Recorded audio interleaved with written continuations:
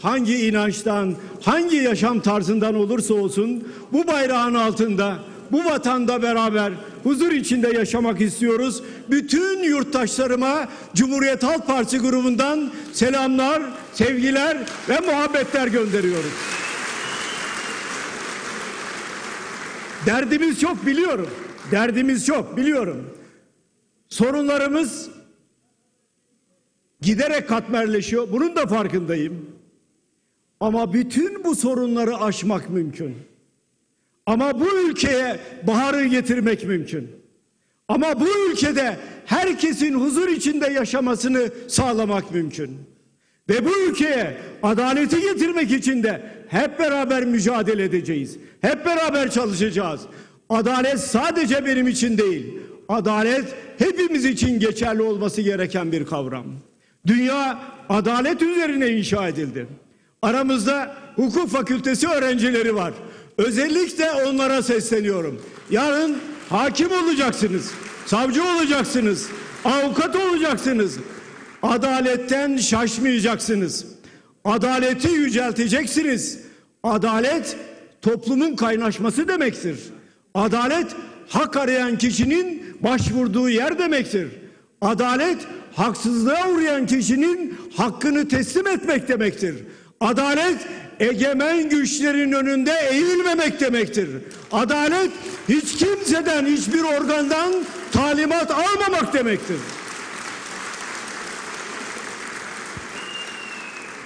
O nedenle adaleti önemsiyoruz. O nedenle devletin temeli adalettir diyoruz. Adaletin olmadığı bir yerde devlet olmaz. Adaletin olmadığı bir yerde devletin kurumları ağır ağır çürür ve siz bazen farkında dahi olamazsınız. Adaleti yüceltmek, adaleti toplumun ana omurgası haline getirmek her yurttaşın, aklı başında olan her yurttaşın savunması gereken bir kavramdır. O nedenle adalete büyük önem veriyoruz. O nedenle adalet mülkün temelidir diyoruz. Yani devletin temelidir diyoruz. O nedenle adalet olmazsa olmazımızdır. Adaletin son 18 yılda çok büyük kayıplar verdiğini biliyoruz. Güven, güven, güven. Güven kaybını yaşadığını biliyoruz. Adalete duyulan güvenin yerlerde süründüğünü ben söylemiyorum. Bu ülkenin en tepesinde olan hakimler söylüyorlar. Yargıtay Başkanı'na sorun. Anayasa Mahkemesi Başkanı'na sorun. Aklı başında her herhangi bir hakime sorun aynı şeyi söyleyecektir. Adalete duyulan güven giderek ivme kaybediyor. Adalete duyulan güven. Oysa tek güvencemiz adalet olmalıydı. Haksızlığa uğradığımızda başvuracağımız yer adalet kurumu olmalıydı. Adalet kurumu bizatihi adaletsizlik dağıtırsa orada devlette çürüme başlar. Bunun farkında mı Adalet Bakanı? Elbette farkında. Bakınız 28 Şubat 2019 18 yıl geçtikten sonra söylüyor. Yargının sorunlarını çözme konusunda önemli mesafeler aldık. 2019 yargıya güven yılı olacak. Demek ki ondan önceki yıllar yargıya güven duyulan bir yıl değildi. 2019 yargıya güven duyulan bir yıl oldu mu? Hayır efendim, hayır. Hayır. Egemen güçlerin, egemen güçlerin siyasal yandaşların telkiniyle, baskısıyla, önerileriyle uyuşturucu kaçakçıları, FETÖ'nün en önemli adamları serbest bırakılırken gariban harp okulu öğrencileri hala yargılanıyorlar, hala hapisteler. Neden? Bunu sormak zorundayız. Mart 2019'da da devam ediyor Sayın Bakan. Türk yargı sisteminde bir ilk olarak tüm hakim ve savcılarımızın bağlayıcı şekilde uyacakları etik ilkeleri belirledik. Yani 2019 yılında bütün savcıların ve hakimlerin uyacağı ahlaki kuralları, etik ilkeleri belirlemişler. Bu ilkeler ile yargı mensuplarına ve Türk yargısına güven artacaktır diyor. Evet değerli arkadaşlarım. O etik ilkeleri belirleyen Bildirge şu. Adalet Bakanlığı'nın internet sitesi, Hakimler Savcılar Kurulu'nun internet sitesine girip bunu orada görebilirsiniz. Uzun uzun anlatıyor. Neleri anlatıyor burada? Bir, hakim ve savcılar insan onuruna saygılıdır, insan haklarını korur ve herkese eşit davranırlar. Diyor. Birinci kural. İkinci kural, hakim ve savcılar bağımsızdırlar. Üçüncü kural, hakim ve savcılar tarafsızdırlar. Dördüncü kural, hakim ve savcılar dürüst ve tutarlıdırlar. Beşinci kural, hakim ve savcılar yargıya olan güveni temsil ederler. Altıncı kural, hakim ve savcılar mahremiyeti gözetirler. Yedinci kural, hakim ve savcılar mesleğe yaraşır şekilde davranırlar. Sekizinci kural, hakim ve savcılar yetkindir ve mesleklerinde özenli davranırlar. Evet bu kuralların hepsine herkes imza atar.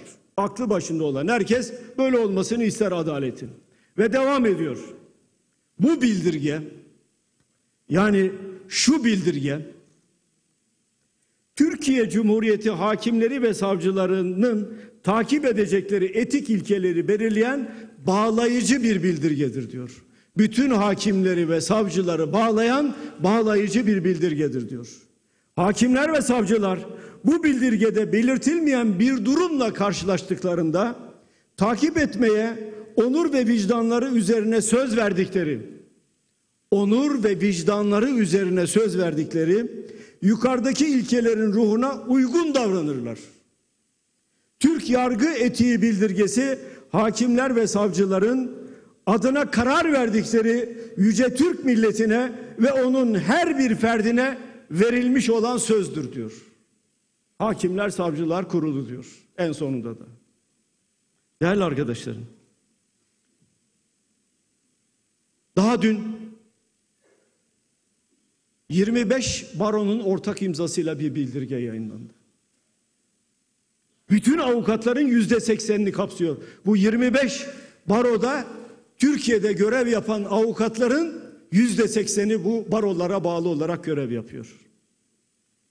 Diyor ki o bildirgede son dönemde kamuoyunun dikkatle takip ettiği toplumsal önemi haiz davalarda yaşanan hukuksuzluklar ve yürütmenin doğrudan doğruya doğrudan müdahalesi anlamına gelecek uygulamalar kabul edilemez boyutlara ulaşmıştır. Yargıya söylüyor. Yürütme organının doğrudan müdahalesi kabul edilemez boyutlara ulaşmıştır diyor. Hatırlar mısınız bir grup toplantısında Hakimler Savcılar Kurulu'nun hakimlere ve savcılara dağıttığı bir broşürden söz etmiştim. Şu konuda karar verirken önce bize danışacaksınız diyordu orada. Anayasaya aykırı bir uygulama. Hukuka aykırı bir uygulama. Evrensel hukuka aykırı bir uygulama. Yayın kimin yayını? Hakimler Savcılar Kurulu'nun yayını. Devam ediyor. Hakimler Savcılar Kurulu mevcut yapısıyla, mevcut yapısıyla tamamen siyasileşmiş ve yürütmenin talimat niteliğindeki açıklamalarını görev addederek yürütmenin talimat niteliğindeki açıklamalarını görev addederek bağımsız yargıçlar üzerinde bir baskı merci haline almıştır. Yani sarayın bir anlamda talimatını hakime bildiren organ haline almıştır. Türkiye Cumhuriyeti tarihinin en ağır yargı krizini yaşamaktadır.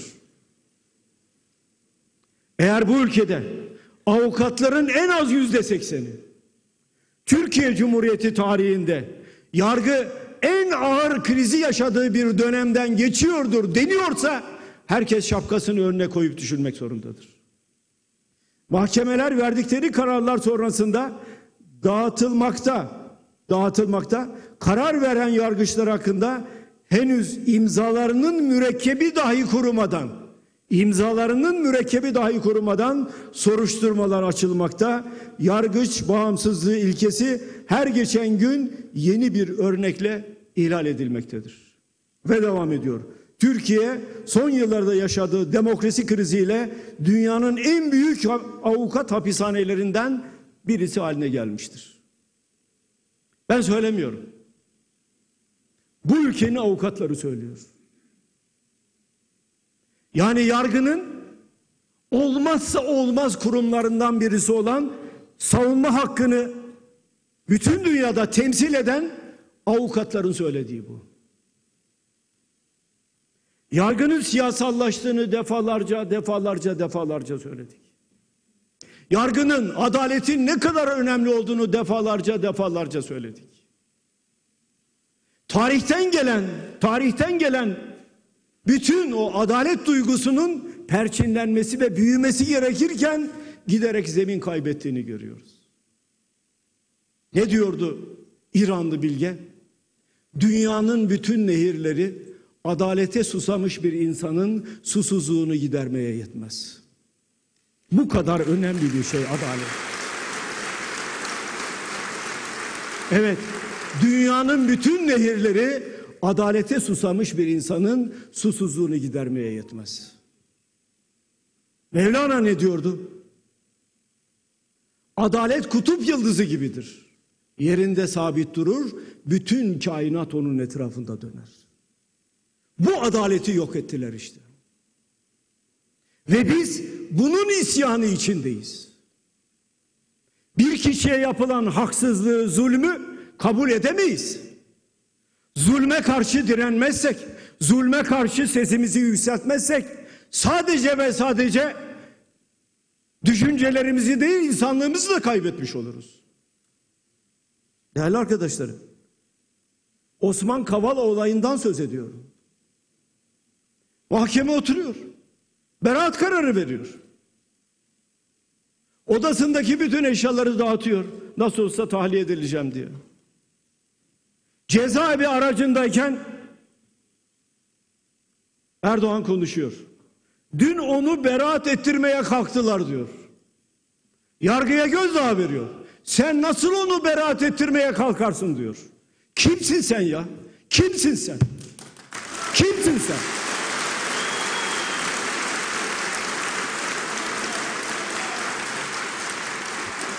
Bu lafı eden insanda adalet duygusu yoktur.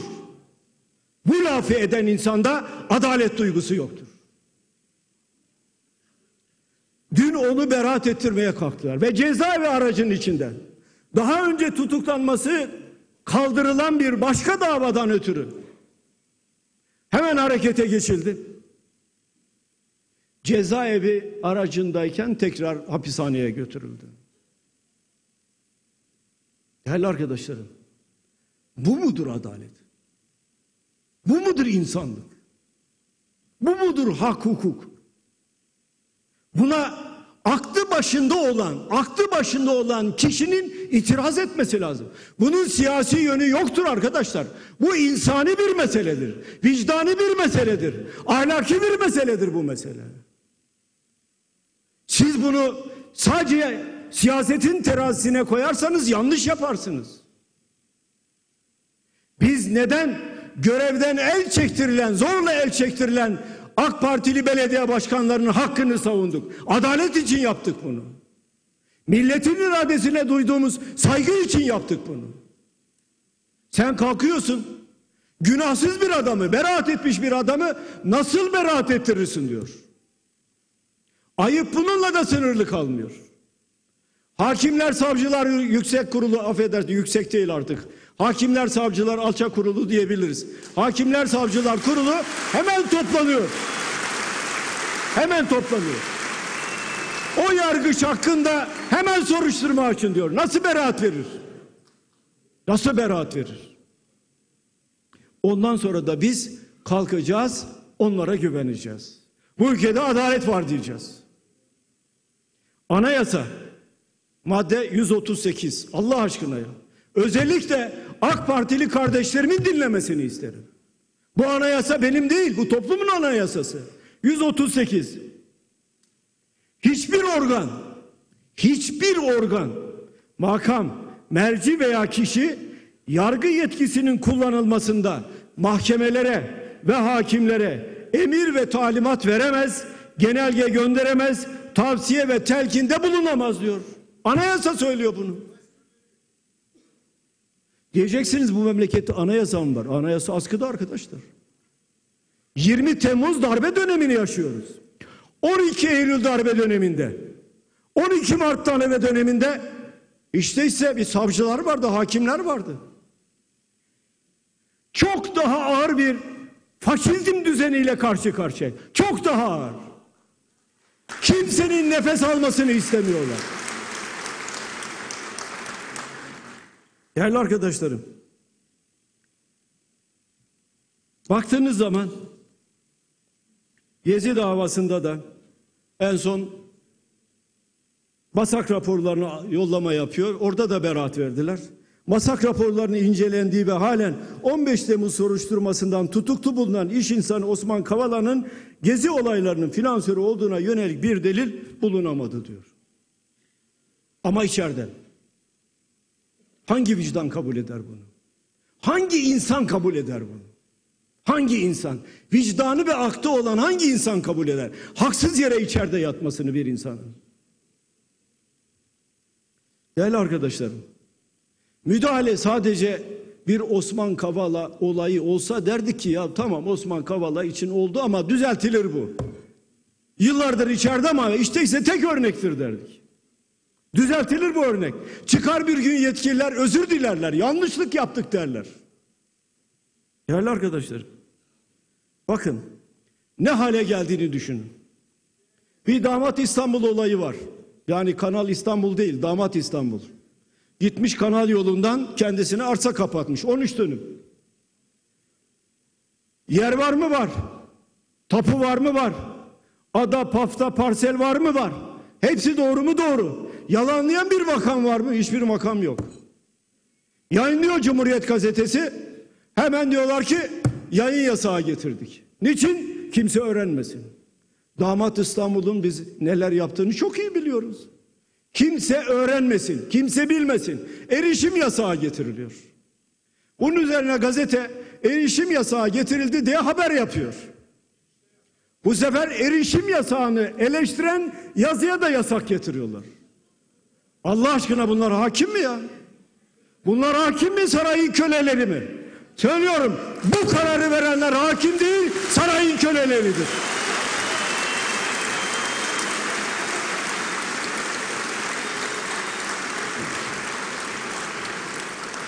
Manadasını açıkladık değil mi? Manadasında.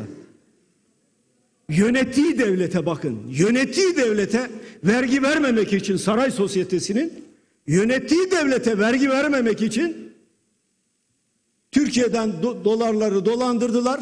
New York'tan Manadası üzerinden Türkiye'ye getirdiler aynı dolar- dolarları banka sistemi içinde. 5 kuruş vergi vermediler. 15 milyon dolar para döndü. 5 kuruş vergi vermediler. Masak diyor ki doğru. Banka diyor ki evet dekontlar bana ait doğru. Para miktarı evet doğru. Para hareketleri tamamı doğru. Sivip kayıtları tamamı doğru. Yani paranın önce yurt dışına oradan Manadası üzerinden Türkiye'ye geldiğini belirleyen sivip kayıtları onlar da doğru. Ne oldu? Efendim bununla ilgili yayın yasağı getirildi. Bir belgesel yaptık. Yayın yasağı getirildi. O yayın yasağını veren hakimin vicdanı var mı? Hakimlik ahlakı var mı? Hakimlik ahlakı var mı? Sonra tazminat davaları açıldı. Eleştirdim diye. Önce benim davalarımın düştüğü mahkemenin hakimlerini değiştirdiler. Yerine sarayın hakimlerini getirdiler. Bana tazminat davaları, ağır tazminat davaları na beni mahkum ettiler. Sandılar ki ben geri adım atacağım. Sizin feriştahınız gelse geri adım atmayacağım. Feriştahınız gelse.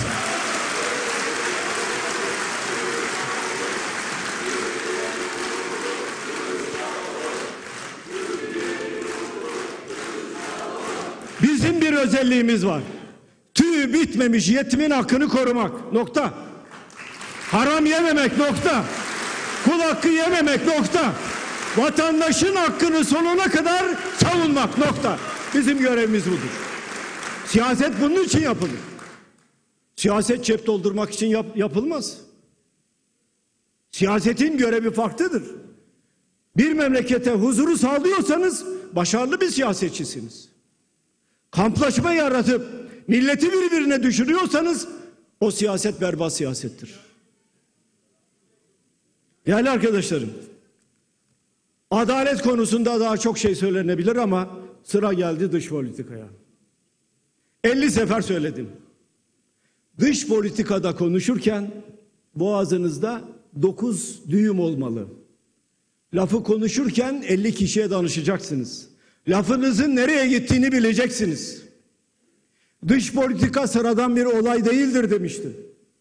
Dış politikada maliyet çok ağır olur demiştim. Dış politika iki kişi arasındaki kavga değildir. Bir ülkedeki iki siyasi parti arasındaki çekişme değildir. Dış politikada olan olay devletler arasındaki ilişkilerdir. Ve bu ilişkilerde son derece dikkatli olmak zorundayız. Dış politika ülkelerin çıkarları üzerine inşa edilir. Dış politikada iktidar muhalefet olmaz. Dış politikada ülkenin çıkarları esastır. Beraber hareket edilir. Ve dış politikanın milli olması gerektiğini söyledim. Sadece dış politika için ayrı bir bakanlık, Dışişleri Bakanlığı bütün dünyada vardır. Ve dış, Dışişleri Bakanlığı'nda çalışan bürokratlar sıradan bürokratlar değildir.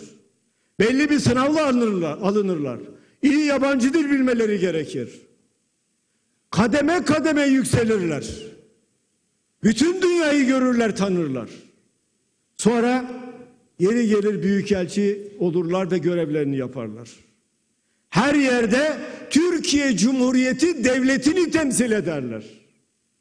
Arabalarında bindiklerinde Türkiye Cumhuriyeti'nin bayrağı vardır. Bu kadar önemlidir. Suriye'ye niye girdin dedim. Suriye'deki kavganın bir parçası neden oldun dedim. İdlib'de ne işin var dedim. Libya'da ne işin var dedim. Mısır'la niye kavga ettin dedim. Filistin bile bizi desteklemiyor bugün. Filistin bile. Bunları söylerken Türkiye'nin mavi vatanda yani Doğu Akdeniz'de daha güçlü olması gerektiğini ifade etmek için söyledim. Herkesle kavga ettiler. Herkesle. Kahramanlık edebiyatı yapıyor. Sen kim kahraman kim ya? Allah aşkına ya. Ya Süleyman Şah türbesini terör örgütünden kaçıran adama kahraman mı denir Allah aşkına ya?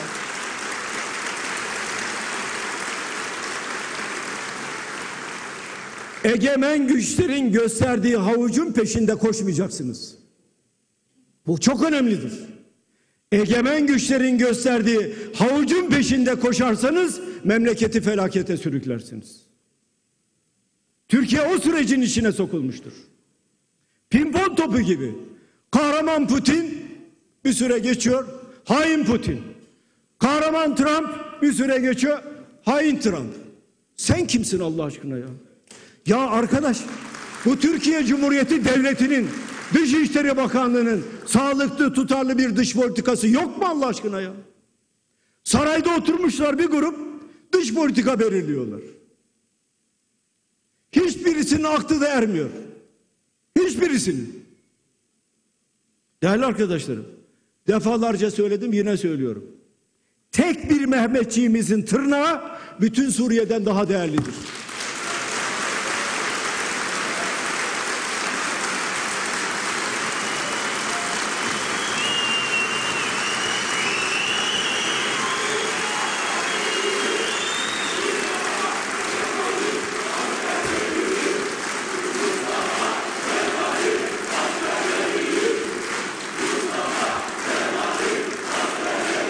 Evet biz sadece Suriye değil.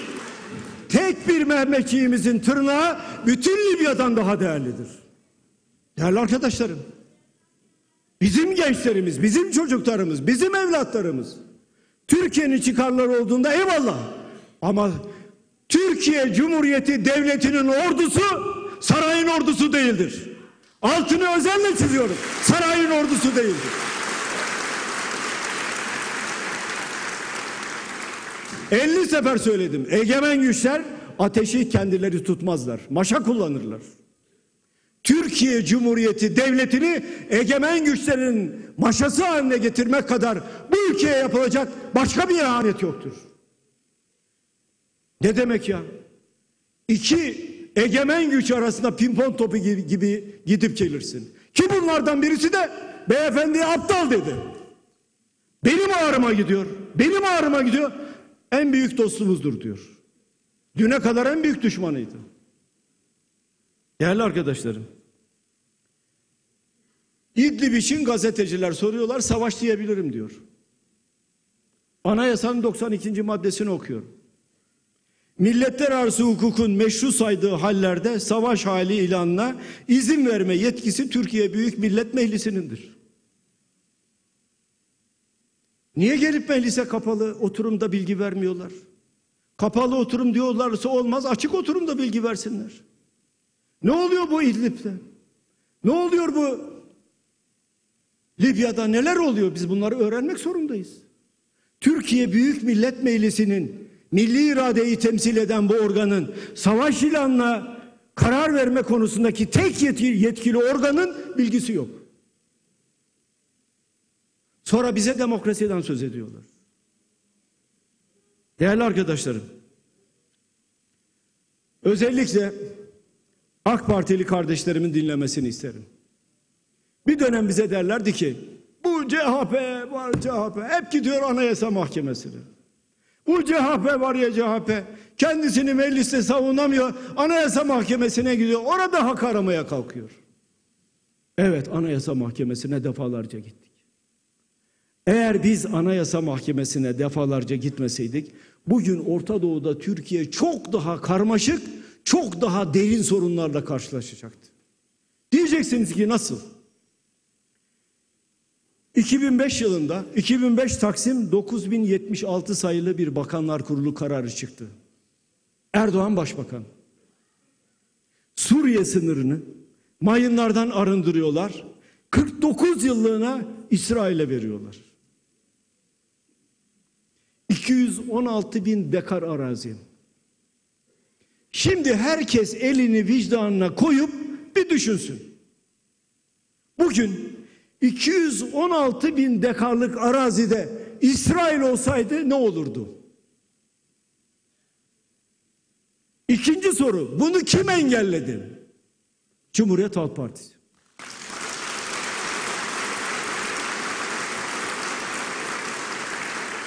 Kararnameyi Danıştay'a götürdük Danıştay iptal etti. Ama Erdoğan vazgeçmedi. Madem ki siz iptal ettirdiniz bunu o zaman ben kanun çıkaracağım dedi. Yine aynı şekilde Suriye sınırındaki 216 bin dekar arazinin İsrail'e 49 yıllığına verilmesi için kanun değişikliği yaptılar. Ki Danıştay iptal etmesin diye. Biz ne yaptık? Anayasa Mahkemesi'ne gittik, yine iptal ettirdik. Kim kazandı? Türkiye kazandı.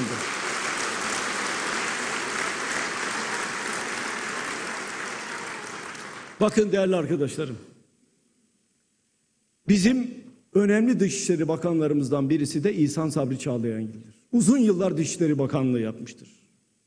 Herkes İhsan Sabri Çağlayangil deyince büyük bir saygıyla kendisini karşılar, kendisini anar. Dışişleri camiası da İhsan Sabri Çağlayangil'i saygıyla anar ve bunda hiçbir eksikliği de yerine eksikliği de ihmal etmez. Her seferinde konu geldiğinde İhsan Sabri Çağlayangil önemli bir Dışişleri Bakanı olarak anılır. İhsan Sabri Çağlayangil'in Orta Doğu politikası ile ilgili söylediği şu söz çok önemlidir. Orta Doğu'da önemli bir yemeğe davetli olduğunuz halde önemli bir yemeğe davetli olduğunuz halde isminiz listede yoksa bir de menüye bakın orada olabilir. Evet.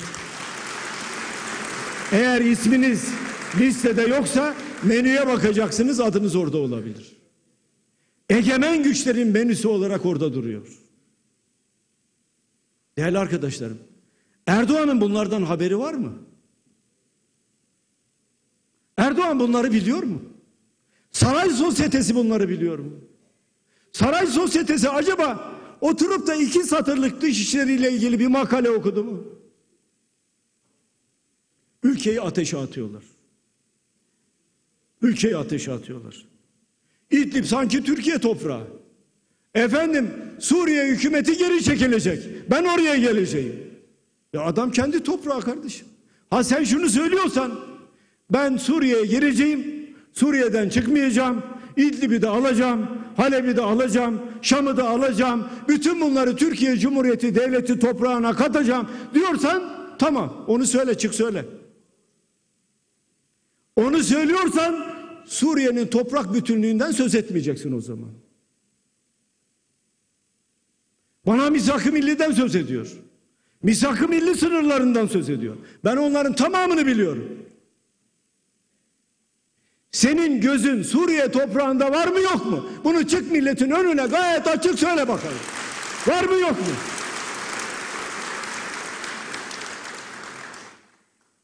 Değerli arkadaşlarım. Şehitler konusunu hemen hemen her grup toplantısında bir şekliyle ifade ederiz. Gelen şehitler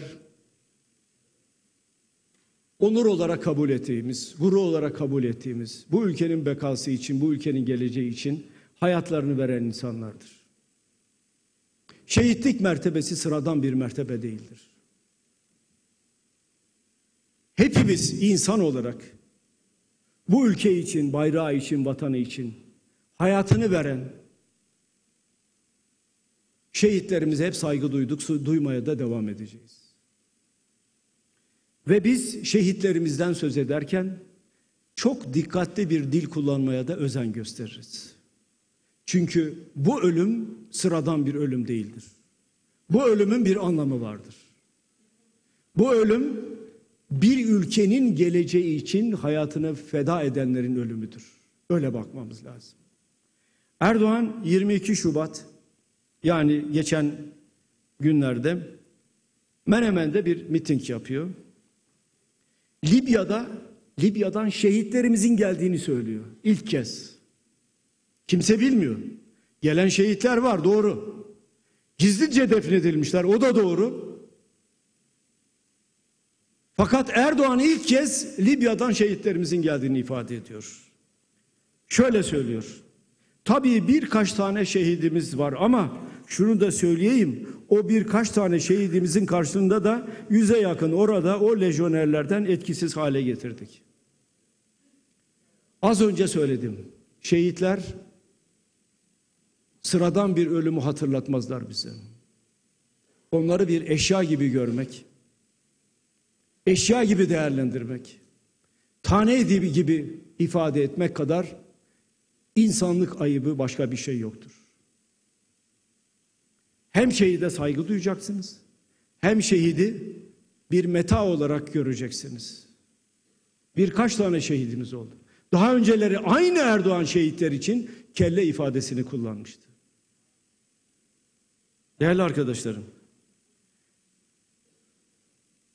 iktidar medyası ya saraydan gelen talimatla bu tane sözcüklerini oradan özenle çıkarmış. Erdoğan'ın konuşması veriliyor. İki şehidimiz var. İki tane şehidimizi taneyi oradan çıkarıyor. Yani Erdoğan'a sansürü Erdoğan medyası uyguluyor. Ben buna rağmen dün akşam AK Parti'nin internet sitesine girdim. Acaba orada gerçekten konuşma metni tam verilmiş mi diye. Orada da çıkarılmış durumda değerli arkadaşlarım. Çünkü tane sözcüğünün şehitler için kullanılmasının doğru olmadığını AK Partililer de kabul ediyorlar. Beyefendi prompterdan yani camdan konuşmayı kesince ne söylediğini bilmiyor. Ama birisi metni yazıp oradan okuduğu zaman onu biliyor. Ve devam ediyor diyor ki efendim şehitler tepesi boş kalmayacak diyor. Aynen onu söylüyorum. Beyefendi şehitler tepesi boş kalmayacaksa çocuklarım var. Seni kefenle karşılayan gençler vardı. Onları gönder oraya. Niye göndermiyorsun?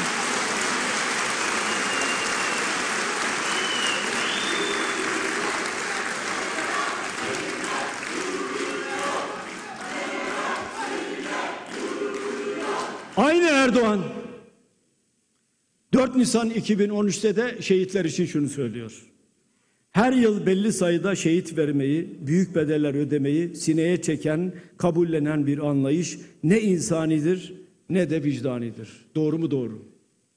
Ne insanidir ne de vicdanidir. Ama 2020'nin Erdoğan'ı çok farklıdır. Bir kibir abidesidir artık. İnsanlar ölmüş umurunda değil. Onun kibiri karşısında toplum ezilmektedir. Bir kibir abidesi olarak sarayda oturmaktadır. Bütün insanları kendi talimatını alan birer sinek gibi görmektedir. Ama ona karşı en gür sesi çıkaran, en namussuz sesi çıkaran partinin de CHP olduğunu o da çok iyi bilmektedir.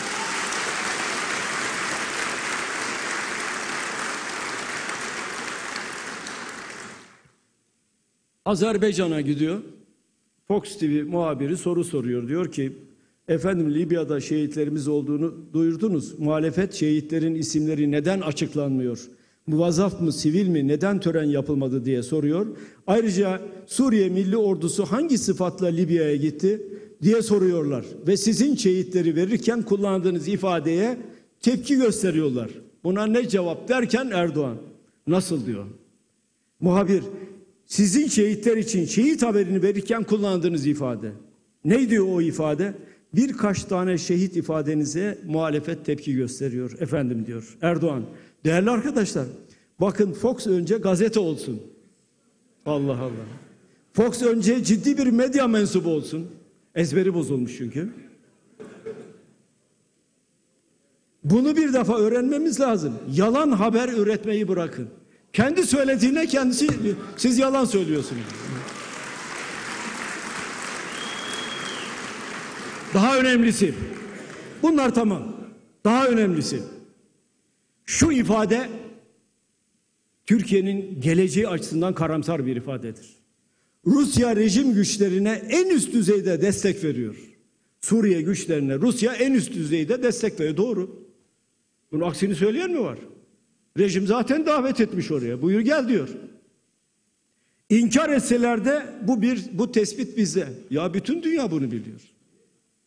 Bu mücadelenin içinde olmaya mecbur değiliz. Mahkumuz diyor. Dikkatinizi çekerim. Bu mücadelenin içinde olmaya mecbur değiliz, mahkumuz diyor. Niye mahkumsun? Amerikalılar mal varlığını araştırırlar diye mi mahkumsun? Niye mahkumsun? Niye mahkumsun?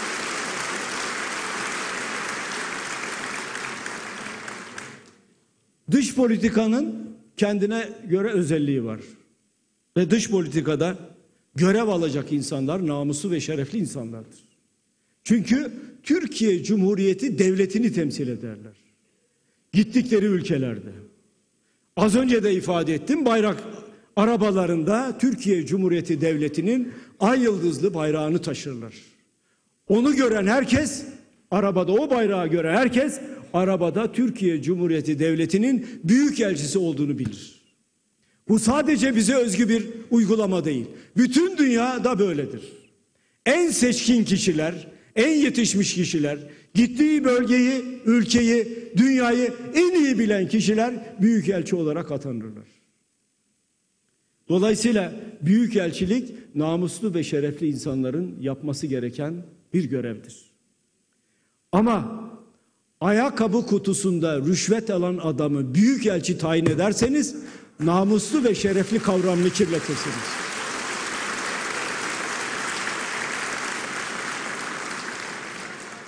Bu zat aynı zamanda Kur'an'la da dalga geçiyordu. Bakara makara diyerek. Bunların ne kadar samimi olduğu buradan belli. Ayakkabı kutusunda rüşvet alan adam nasıl olur da büyükelçi tayin edilir? Yarın o büyükelçi daha büyük bir rüşvetle devletin bütün sırlarını satarsa ne diyeceğiz? Ne diyeceğiz? Devletin kozmik odasını bunlar aşmadılar mı? Üzüm üzüme baka baka kararır diye güzel bir atasözümüz var. Şimdi Viyana Büyükelçisi atandı. Bir ülkücü kardeşimizin ölümüyle ilgili aranıyordu. Uzun yıllar aranıyordu. Kırmızı bültenle arandı. Vatandaşlıktan çıktı.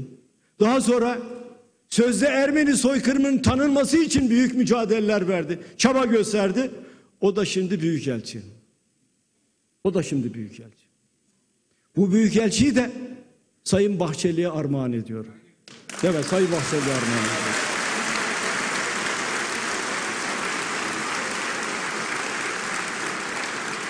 Bir büyükelçimiz daha var.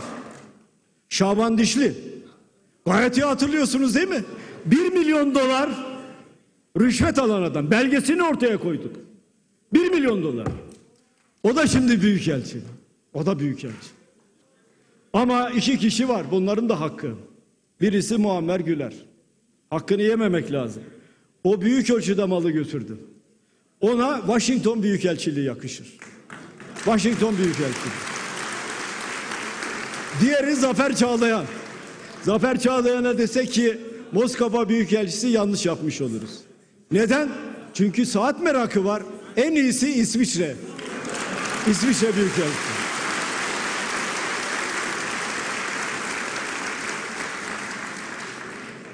Vatandaşlarımız belki unutmuştur hatırlatayım.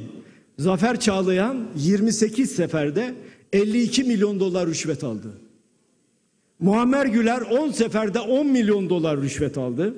Egemen Bağış 3 seferde 1 milyon dolar rüşvet aldı. Şaban Dişli de 1 milyon dolar rüşveti belgesiyle ortaya koyduk. O da ondan beslendi. Değerli arkadaşlarım, geçen hafta Erdoğan grup konuşmasında Türkiye saman ithal etmedi diye bir açıklama yaptı. Şöyle aynen okuyayım. Bu ülkede bunca güzel iş olurken ne kadar güzel işler oluyor. Bütün yolsuzluk yapanları, rüşvet alanları büyükelçi tayin ediyorsun. Bundan daha güzel bir şey olamaz tabii. Birileri sırf milletin moralini bozmak için mesela ülkemizin saman, saman ithal ettiği gibi bir yalanı utanmadan, sıkılmadan tekrarlayabiliyor. Ben burada çok ağır bir ifadede kullanabilirim de bu kürsüye yakışmaz diyor. Yakışır, yakışır. Her türlü şeyi söyleyebilirsin sen. Saman ithal ediyor dedim. Bu yalandır diyor. Bakın arkadaşlar. Bu gümrük giriş beyannamesi. İzmir Gümrük Müdürlüğü 19 Şubat 2020 yeni. Ticari tanımı saman.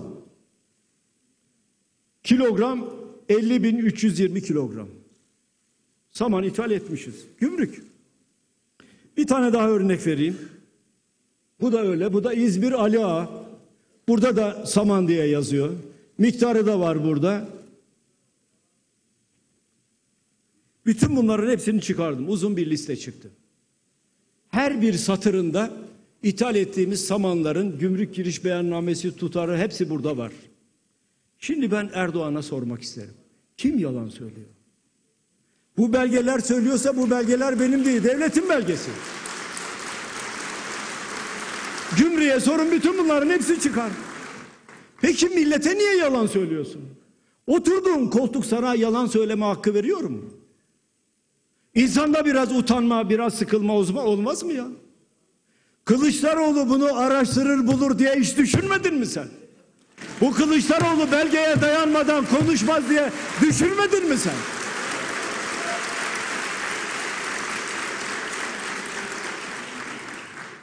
Şimdi değerli arkadaşlarım kuru soğan dolayısıyla depolar dolu. Kuru soğan var yeteri kadar ama ne patatesi ne de kuru soğanı dışarıya ihraç edemezsiniz diyorlar.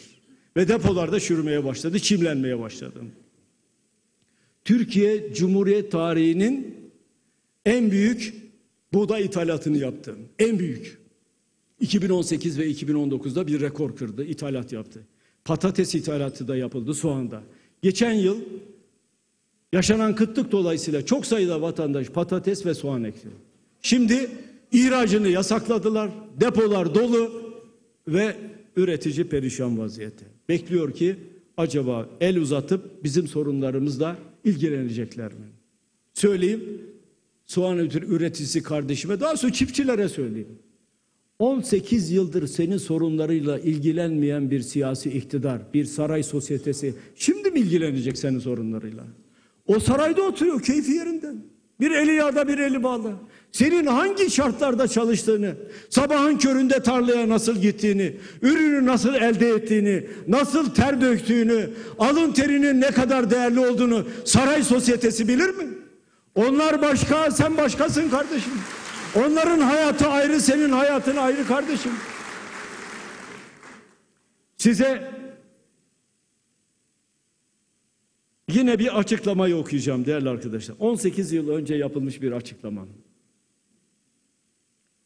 Bu ülke bu hale geldiyse bugün benim Anadolu'daki vatandaşım konteynerlardan evine çöp, rızık toplayıp götürüyorsa hafta pazarlarının atıklarını toplayıp evine götürüyorsa meydanlar açız açız diye bağırıyorsa, evinin kirasını ödeyemiyorsa, suyunun parasını ödeyemiyorsa, elektriğinin parasını ödeyemiyorsa ve artık yandım Allah diyorsa benim halkım, vatandaşım. Ben bu hale Türkiye'yi kim getirdi? Bu hükümet getirmedi mi? Bu hükümetin ortakları olarak bunun sorumluluğunu taşımıyorlar mı? Millet bunların hepsini çok iyi biliyor. Bir seçim satım haline girildiği zaman bunların hepsi hatırlandığında neyin bedelini kimlerin ödemesi gerektiği ortaya çıkıyor. Bu sözler Erdoğan'a ait sözler. İktidara gelmeden önce. Şimdi her vatandaşımın elini vicdanına koyup düşünmesi lazım. 18 yıl önce söylenenle 18 yıl sonra yaşanan arasında bir fark var mı? 18 yıl, bir yıl değil, 5 yıl değil, 10 yıl değil, 15 yıl değil, 18 yıl, 18 yıl. 18 yılda yine çöp konteynerlarından beslenenlerin sayısı arttı. Pazar atıklarından beslenenlerin sayısı arttı. Burada işsizlik yok. Ama bugün işsizlik can yakıyor. İşsizlik perişan vaziyette. İşsizler perişan vaziyette. Vatandaş borçla yaşıyor. Vatandaş da borç batağında. Sadece 27 Aralık 19 Şubat arası. 14 Şubat arası. Vatandaşın borcu, kredi kartı borcu 276 milyon lira artıyor. Sadece bu dönemde. Eski parayla 276 trilyon lirayı buluyor. Bütün borçta 21 milyar lira oluyor. Yani 21 katrilyon lira vatandaşın bankalara kredi kartı borcu var değerli arkadaşlarım. Ve bizler işsizlikle boğuşuyoruz. Kendisini yakanlar. Rahmetli Ecevit döneminde başbakanlığın önüne yazar kasa atıldı diye kıyamet kopmuştu. Şimdi bırakın yazar kasayı. Ondan vazgeçtik zaten. İnsanlar kendilerini yakıyorlar dertlerini anlatmak için. İşsizliğin, işsizliğin en ciddi sorunlarından birisi sadece işsizlik de değil. Bir yıl süreyle işsizlik sigortasından para alırsın. Ondan sonra iş bulamazsan sosyal güvenliğin de bitiyor. Hastaneye gittiğin zaman kimse sana bakamayacak. Yaşanan felaketin farkında mı saray? Sarayda işsizlik yok. Sarayın Türkiye'sinde işsizlik diye bir dert yok. Vatandaşın Türkiye'sinde işsizlik tam bir facia. Bunun görülmesi lazım. Bir de vatandaşlarıma şunu hatırlatmak isterim. Bunlar ne diye iktidara geldiler? Yolsuzlukla mücadele edeceğiz diye geldiler. Yoksullukla mücadele edeceğiz diye geldiler. Yasaklarla mücadele edeceğiz diye geldiler. Yolsuzluklar artık AK Partili yöneticilerin kimliği oldu. Kimliği. Bu AK Partili yöneticidir dendiğinde malı götüren adam hatırlanıyor. Malı götüren. Saraydakiler de öyle. Onlar da malı götürenler. Yolsuzluk böyle, yoksulluk deseniz arttı zaten. Yasaklar, az önce yasaklardan örnek verdim. Fazla uzaya gitmeye gerek yok. Damat İstanbul olayında vardı ya 13 dönümlük arazi. Vay efendim bunu gizli tutun yasaklıyorlar. Onu haber haberi de yasaklıyorlar. Ondan sonra bizden diyorlar ki biz bu ülkeye demokrasiyi getirdik. Yurt dışında çalışan vatandaşlarıma da seslenmek isterim. Türkiye'de 2008'de yapılan bir sosyal güvenlik değişimiyle daha fazla prim ödeyen, daha uzun süre çalışan, daha az emekli aylığı alır hale geldi. O nedenle insanlar prim ödeme gün sayısı dolunca işten ayrılıyorlar. Emekli maaşım düşmesin diye. Aynı şey yurt dışındaki işçiler için de yapıldı. Eskiden yani 1 Ağustos 2009 öncesinde 282.510 lira verdiğinizde 9000 gün prim ödediğinizde 2700 lira aylık alıyordunuz. Yani yurt dışında çalışıyor işçi. Türkiye'de emekli aylığı alayım diyor. 282.510 lirayı götürüp yatırıyor. 2700 lira emekli aylığı almaya hak kazanıyor. Erdoğan yani saray iktidarının yaptığı düzenlemeyle 9 bin gün üzerinden 282 bin lira değil 397 bin lira para yatırması lazım. 397 bin lira. 2700 lira aylık değil daha fazla para yatırdığı halde 1000 lirayla 1500 lira arasında emekli aylığı alacak. Kimin sırtından? Vatandaşın sırtından. Vatandaşın sırtından alacağı emekli aylığından tasarruf et, etmeye çalışıyorlar. Peki saray? Saray ne halde? Bakın şu iki fotoğraf değerli arkadaşlarım. Rize'de çekildi. Rize'de. Yani Erdoğan'ın uzun yıllardır seçildiği yerde. Çaykur geçici işçi alacak. İnsanlar sabahın köründe kuyruğunda, kuyrukta bekliyorlar. Sabahın köründe bekliyorlar. İşte sarayın Türkiye'si ile halkın Türkiye arasındaki fark bu. Sarayın Türkiye'sinde böyle bir kuyruk yok asla. Herkes balla kaymakla besleniyor. Ama bu insanlar bakın çoğu genç. Taşı sıksa suyunu çıkaracak ama işsiz. Sabahın kuyruğunda geçici iş için gelip burada bekliyorlar. Son bir konuya değineyim. Tank palet olayına. Erdoğan yine efendim tank palet için Kılıçdaroğlu şunu söylüyor, Kılıçdaroğlu bunu söylüyor. Bir sürü şey. Bir daha söylüyorum. Türkiye Cumhuriyeti Devleti ordusuna ait bir silah fabrikasını yabancı bir orduya peşkeş çekenler vatan hainidir. Nokta.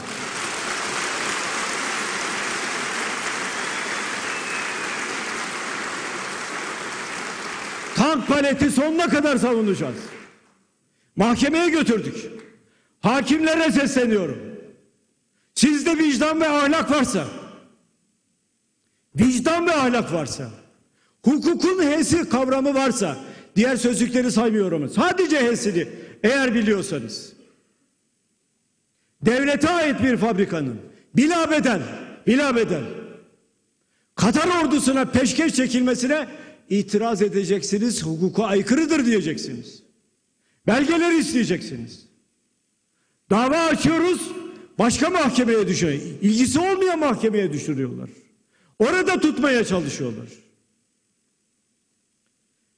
Bakın şimdi kim yalan söylüyor. 28 Ocak 2018 Çorum İl Kongresi Erdoğan konuşuyor.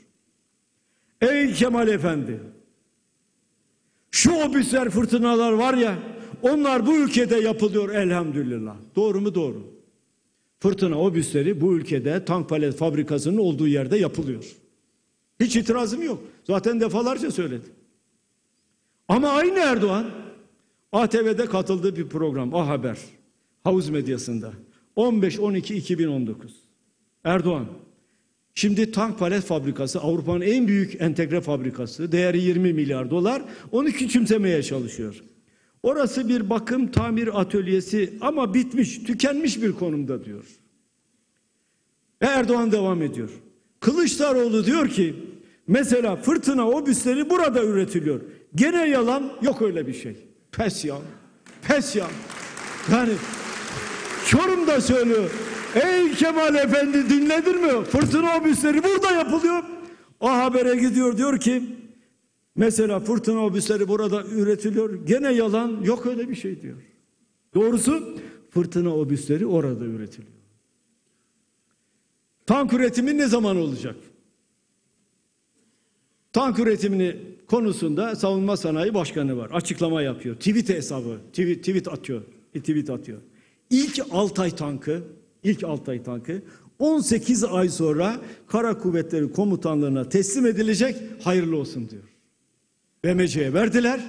18 ay sonra Kara Kuvvetleri Komutanlığı'na ilk tank teslim edilecek. Fakat bakıyorlar ki ortada böyle bir şey yok. 9 Ocak 2020'de aynı başkan bu sefer bir açıklama yapıyor. Şu an için firma elinde güç paketi yani motor olmadığından tank üretimi başlatılamıyor. Güç paketi konusunda yapılan başvurunun sonuçlanmadığı durumda da tank üretimini başlatamadığımızdan bu 18 aylık sürede başlayamıyor.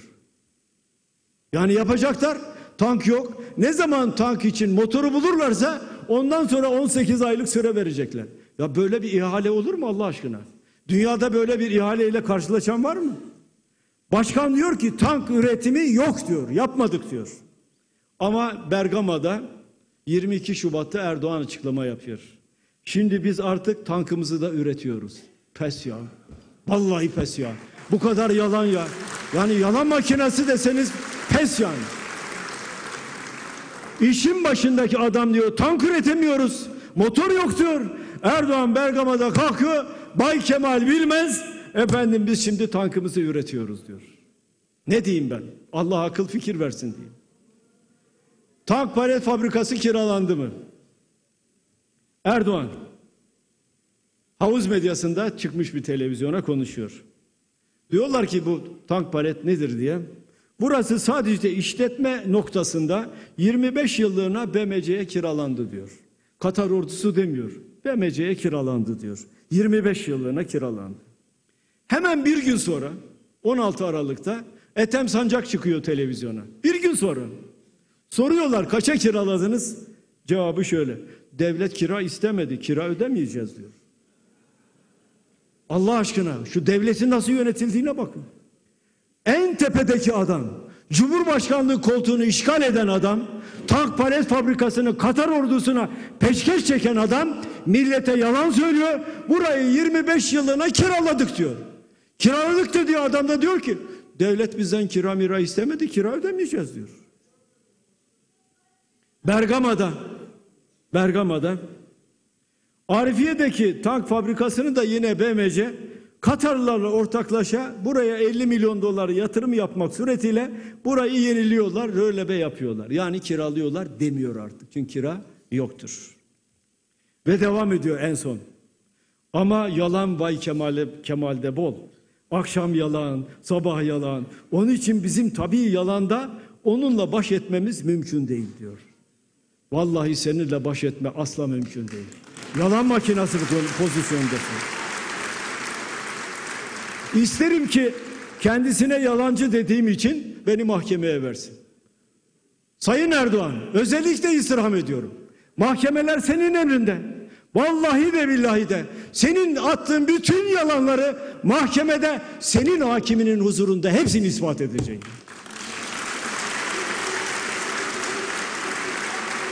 Daha nedir acısı biliyor musunuz? Daha acısı nedir? Fabrika orduya ait. Çalışanlar orduya ait. Üretim orduya ait. Üretileni Katar BMC ortaklığı alıyor. Üzerine yüzde on iki buçuk kar koyup orduya satıyor. Eskiden on iki buçuk kar devlette kalıyordu. Şimdi BMC ve Katar ortaklığına gidiyor. Hayatımda böyle bir peşkeşle, peşkeşle karşılaşmadım. Hayatımda. Böyle bir rezil tabloyu asla ve asla benim vicdanım kabul etmiyor. Sayın Bahçeli'ye özellikle istirham ediyorum. Sayın Bahçeli'den özellikle istirham ediyorum. Elinizi vicdanınıza koyun. Elinizi vicdanınıza koyun. Milliyetçilik duygularınızı biraz kabartın. Ve tut şu tank palet işine yeter deyin kardeşim ya. Yeter deyin ya.